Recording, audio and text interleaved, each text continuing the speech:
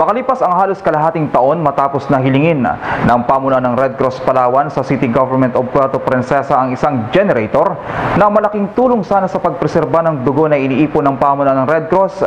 bigo pa rin itong maibigay